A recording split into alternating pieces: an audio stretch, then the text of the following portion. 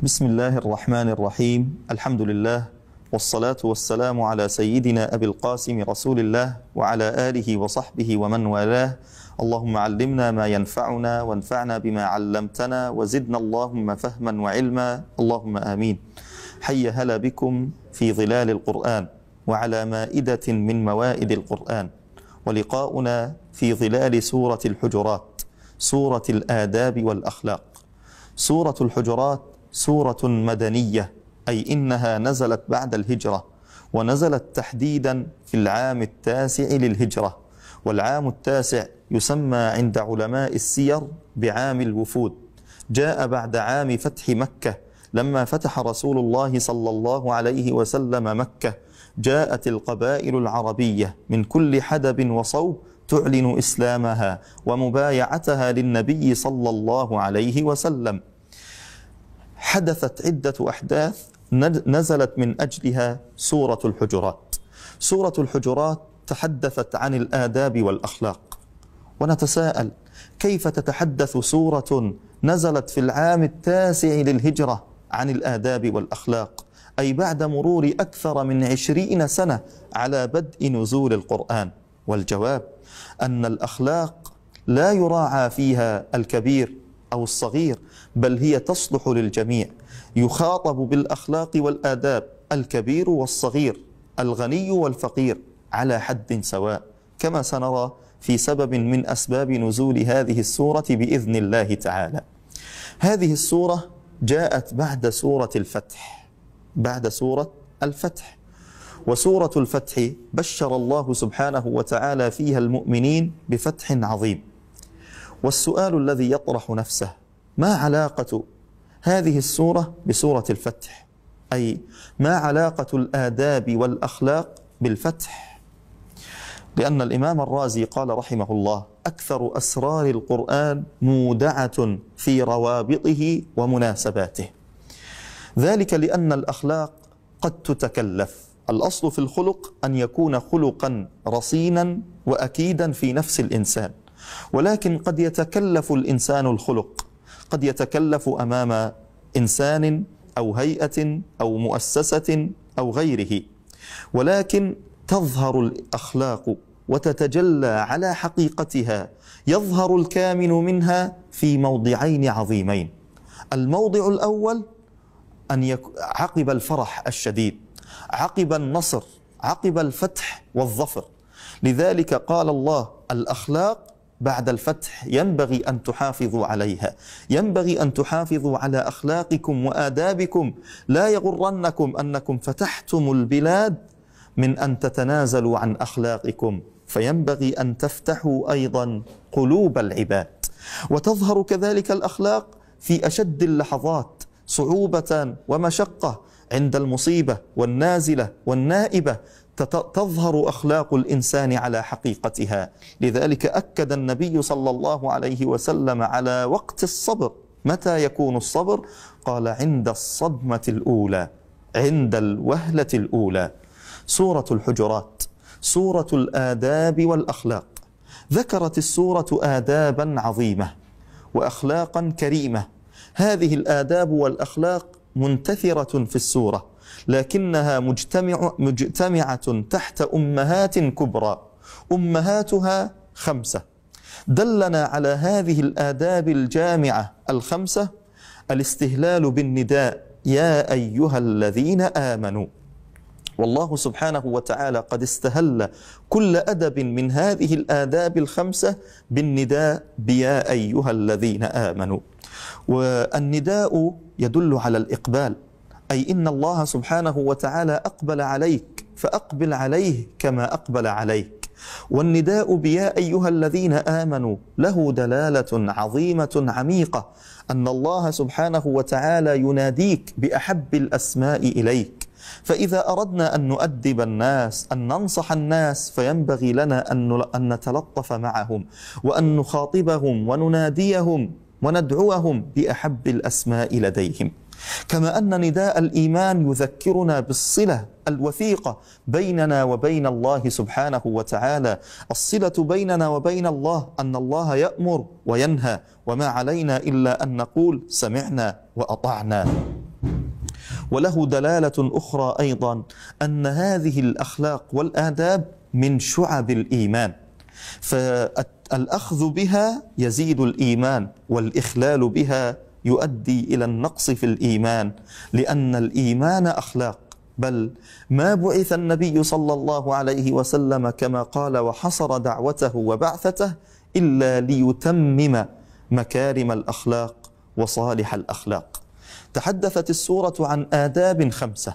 بدأت السورة بالأدب الأول من هذه الآداب. الأدب الأول هو أس هذه الآداب وأصلها وعظمها وأهمها وهو الأدب مع الله سبحانه وتعالى. لأنه لا ينبغي ولا يكون للإنسان أن يتأدب مع الناس وأن يسيء الأدب مع الله سبحانه وتعالى. فأولا وقبل كل شيء أن يتأدب الإنسان مع ربه خالقه فاطره الذي خلقه. ألا يعلم من خلق؟ وهو اللطيف الخبير. فبدأت بالأدب مع الله. فقال جل شأنه يا أيها الذين آمنوا لا تقدموا بين يدي الله ورسوله. وصورت هذه الصورة القبيحة أن يتقدم الإنسان بين يدي الله كما يتقدم أحدنا بين يدي كبير أو عظيم يمشي أمامه. فلا يجوز لنا أن نتقدم أمام الكبراء وهم الخلق. فكيف بالخالق سبحانه, سبحانه وتعالى؟ لا تقدموا بين يدي الله. ما معنى لا تقدموا بين يدي الله؟ أي إننا نعيش في ملك الله وفي كون الله. والله سبحانه وتعالى خلق هذا الكون وسن له قوانين وشرع له نواميس وشرائع. وأذن لنا أن نتمتع وأن نتلذذ بما فيه من متع الحياة. وفق ما قرر من ضوابط وقواعد. فلا ينبغي لنا أن نفعل شيئا دون أن نستأذن صاحب الكون صاحب الملك وهو الله سبحانه وتعالى. كما إذا دخلنا بيتا ملكا لأحد. فلا ينبغي لنا أن نفعل شيئا إلا إذا استاذنا صاحب البيت.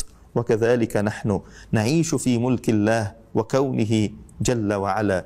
لا تقدموا بين يدي الله أي لا تفعلوا شيئا. ولا تقولوا شيئا إلا أن تستأذنوا الله.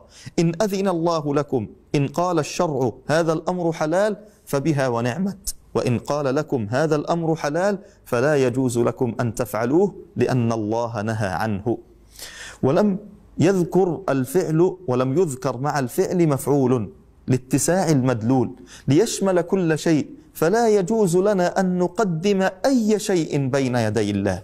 كأنه قال لا تقدموا بين يدي الله رايا ولا عقلا ولا شخصا ولا حزبا ولا تنظيما ولا جماعة ولا قبيلة ولا عشيرة. فلا يجوز لك أن تقدم بين يدي الله أي شيء. ومن صور الأدب مع الله أن نسأل قبل أن نفعل.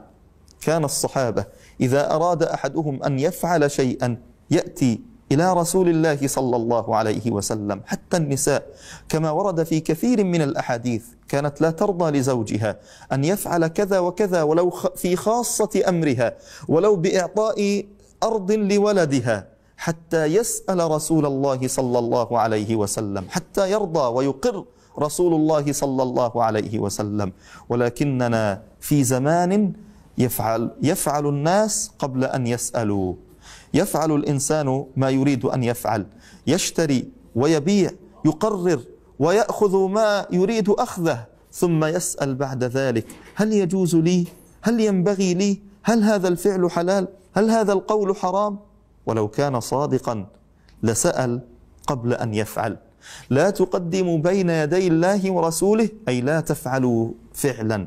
ولا تنفذوا قولا إلا إذا سألتم عن حكم الله في هذا القول أو الفعل. ثم أمر الله سبحانه وتعالى بالتقوى لأنه العلة التي تمنعنا أن نتقدم بين يدي الله. العلة هي التقوى الخوف من الله ومن لقاء الله سبحانه وتعالى. ولذلك ركزت السورة على التقوى فأمر الله في السورة بالتقوى في ثلاث مواضع. واتقوا الله. وختمت الآية إن الله سميع عليم. لتشمل الأقوال إن الله سميع للأقوال عليم بالأفعال. لتشمل الأقوال والأفعال. ومن صور الأدب مع الله ما ذكرته السورة في خاتمتها وآخرها ألا يمن الإنسان على الله بإيمانه أو بعبادته وطاعته وإنفاقه وجهاده فإذا فعل شيئا ألا يقول لربه يا رب قد فعلت وفعلت فإذا ابتلي أو أوذي قال يا رب كيف فعلت بي كذا ألا يسخط على قدر الله. هذا من صور الأدب مع الله. لذلك عاتب الله سبحانه وتعالى من منوا على رسول الله. وقال لهم قل لا تمنوا علي إسلامكم بل المنة الحقيقية لله بل الله يمن عليكم أن هداكم للإيمان إن كنتم صادقين. المنة الكبرى أن الله وفقنا وهدانا للإيمان. ولما ختمت الآية الأولى الحديث عن الأدب مع الله شرعت شرعت الآية الثانية مباشرة بالحديث عن الأدب مع رسول الله صلى الله عليه وسلم. فقال جل شأنه يا أيها الذين آمنوا لا ترفعوا أصواتكم فوق صوت النبي الآية. ولهذه الآية قصة نزول.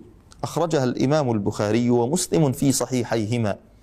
في عام الوفود كان النبي صلى الله عليه وسلم إذا جاء وفد من الوفود إما أن يثبت الأمير وإما أن يغير الأمير. إذا رأى أنه لا يصلح غيره.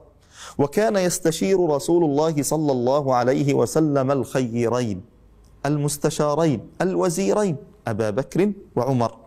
فذات يوم أراد أن يستشيرهما في تعيين أمير فاستشار أبا بكر. من أولي على هذا هؤلاء؟ فقال ول عليهم فلان. قال يا عمر من أولي على هؤلاء؟ قال ول عليهم فلان. فنظر أبو بكر لعمر.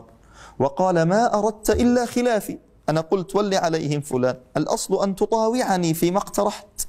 قال عمر لا. والله ما أردت خلافك. شاورني رسول الله فرأيت وقلت بما رأيت. فقال والله ما أردت إلا خلافي. قال والله ما أردت خلافك. وعلت أصواتهما.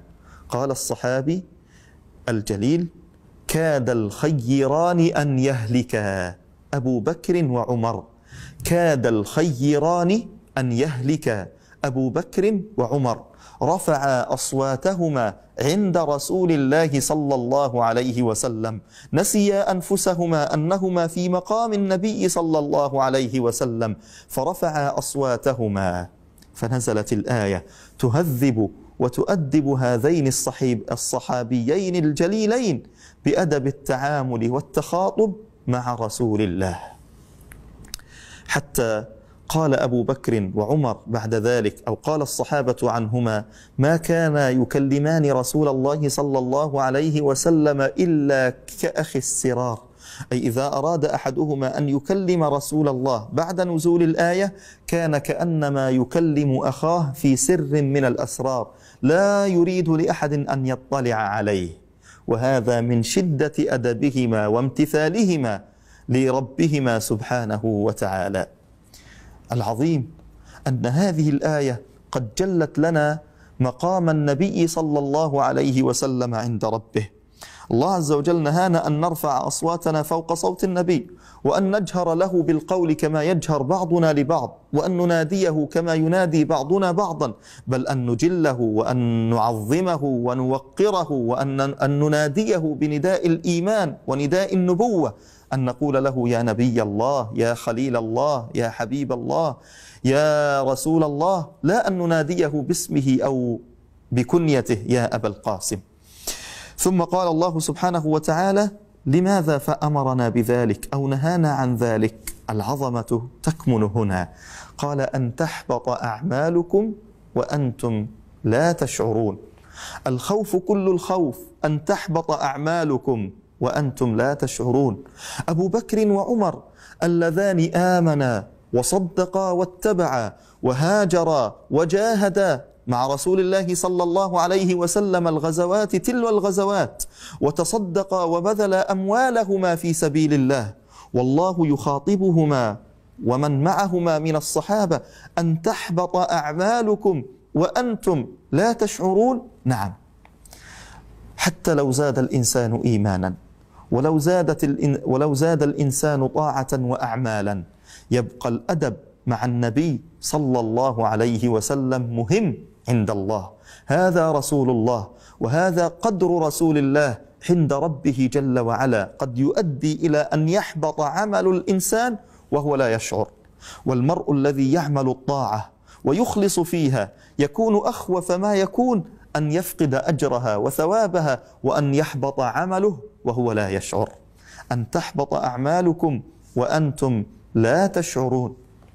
قد يقول قائل ما علاقتنا نحن بهذه الآية؟ نزلت ورسول الله صلى الله عليه وسلم حي بين ظهراني الصحابة. أما الآن فقد مات رسول الله صلى الله عليه وسلم. فكيف نتعامل مع هذه الآية؟ أو كيف نتأدب مع رسول الله من خلال هذه الآية؟ أقول هناك أمران. الأمر الأول إذا ذهبنا إلى هناك إلى قبر رسول الله صلى الله عليه وسلم فحرمته ميتا كحرمته حيا. لا يجوز لنا أن نرفع أصواتنا في حضرة قبر رسول الله صلى الله عليه وسلم. ولذلك كان الإمام مالك إذا أراد أن يحدث في مسجد النبي صلى الله عليه وسلم كان ينظر إلى القبر ويقول قال صاحب هذا القبر. يقول صاحب هذا القبر ولا يرفع صوته ومن رفع صوته في مجلسه كان يطرده من مجلسه حفظا لحرمة رسول الله صلى الله عليه وسلم. والمعنى الثاني لا يقتصر على رسول الله كشخص بل على سنة رسول الله صلى الله عليه وسلم.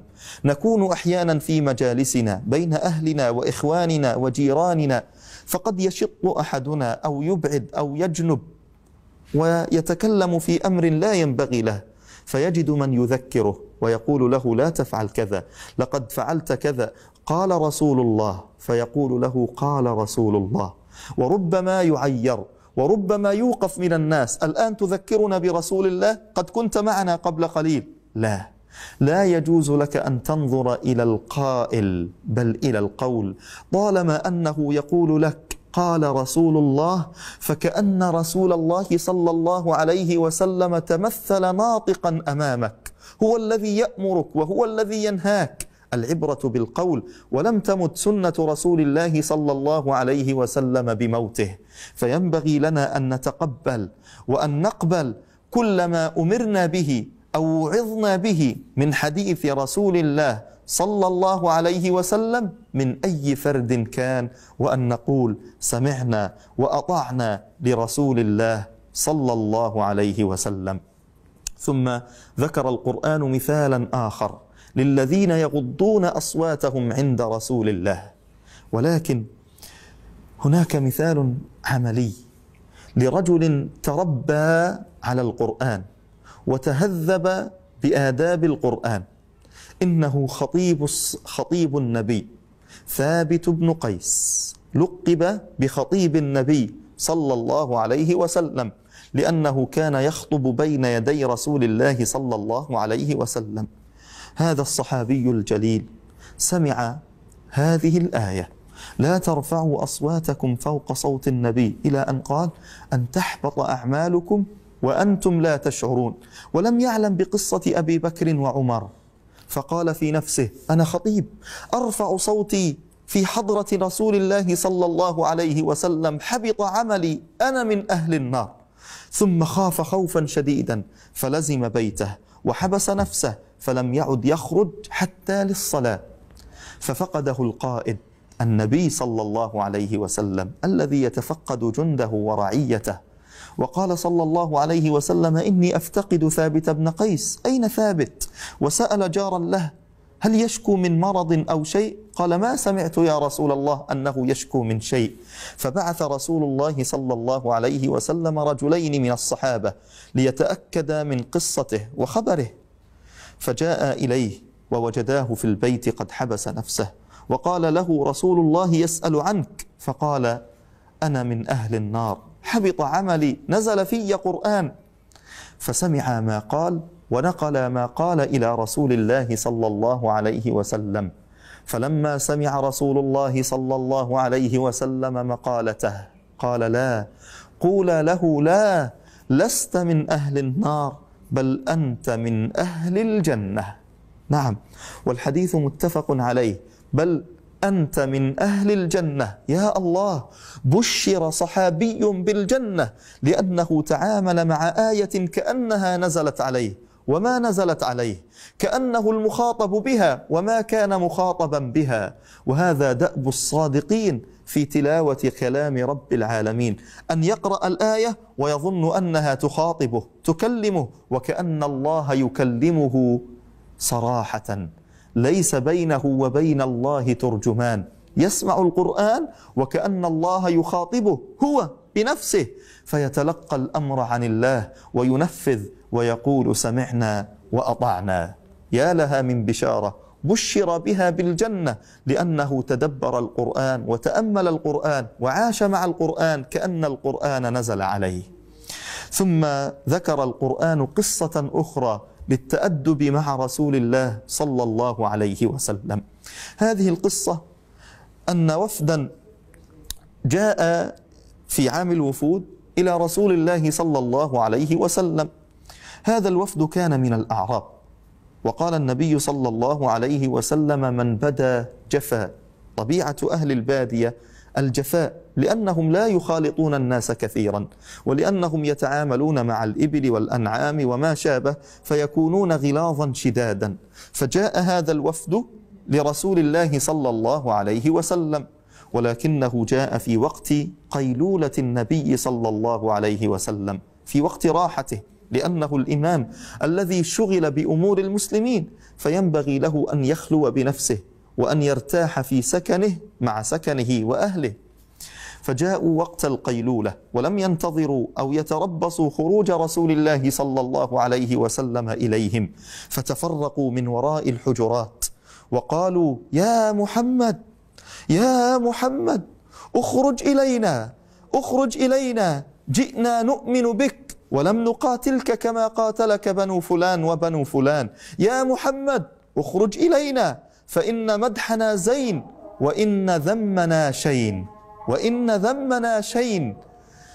فتأذى رسول الله صلى الله عليه وسلم منهم فأنزل الله ووصفهم الذين ينادون من وراء الحجرات بأك بأن أكثرهم لا يعقلون. وتأمل الأدب أن الله لم لم يحكم عليهم جميعا. في الحكم احرص على ألا تحكم على الجميع. وإن كانوا كذلك فلست تعلم الحقيقة والباطن. قال أكثرهم مع أن الله يعلم. قال أكثرهم لا يعقلون. فنفى عنهم العقل ولهم عقل يعقلون به ويتكلمون به. ولكن العقل الذي نفاه الله عنهم هو عقل التأدب. العقل الذي يعقل المرأة ويربطه فيفعل ما ينبغي وقت ما ينبغي ويمتنع عن فعل ما لا ينبغي. وقت ما لا ينبغي أن يفعل هذا الفعل.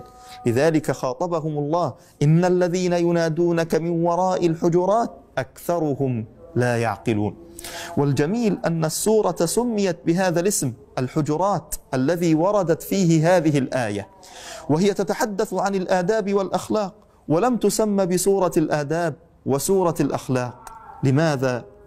لأن الله يريد لنا أن نتمثل بسيد الأخلاق الذي تمثل الأخلاق واقعا عمليا وطبق أخلاق القرآن حتى صار قرآنا يمشي على الأرض. لذلك سميت سورة الحجرات ليدلل لنا على هذه على مكانة هذه الحجرات وعظمة هذه الحجرات التي حوت بين أركانها وحيطانها وجنباتها خير بيت مسلم وخير قائد مسلم خير من وطئت قدماه الثرى خاطبه الله وزكاه بخلقه فقال وإنك لعلى خلق عظيم. ثم عقب الله سبحانه وتعالى على حدث هؤلاء الأعراب بأنهم لو صبروا ولم يتعجلوا حتى يخرج إليهم رسول الله صلى الله عليه وسلم لكان خيرا لهم لأنهم كانوا يريدون إعانة ومالا ولو انتظروا وتربصوا كان النبي صلى الله عليه وسلم سيعطيهم أكثر مما يريدون ويطلبون. ولذلك الإنسان ينبغي له أن يتمهل وألا يتعجل ففي الصبر خير كله وفي الأنات خير كله وفي العجلة شر مطلق. ولذلك نهى رسول الله عن العجلة وجعلها من الشيطان. ولو أنهم صبروا حتى تخرج إليهم لكان خيرا لهم. ثم ذكر الله أن الله غفر لهم ورحمهم فقال والله غفور رحيم. لأن الله سبحانه وتعالى يغفر زلاتنا وسيئاتنا ويرحمنا لأن الله أرحم بنا من أنفسنا ولأنهم كانوا لا يعلمون. لذلك غفر الله لهم ورحمهم جل وعلا. هذا هو الأدب الأول والأدب الثاني في سورة الحجرات. أما الآداب الأخرى فإلى لقاء آخر بإذن الله تعالى. والسلام عليكم ورحمة الله وبركاته.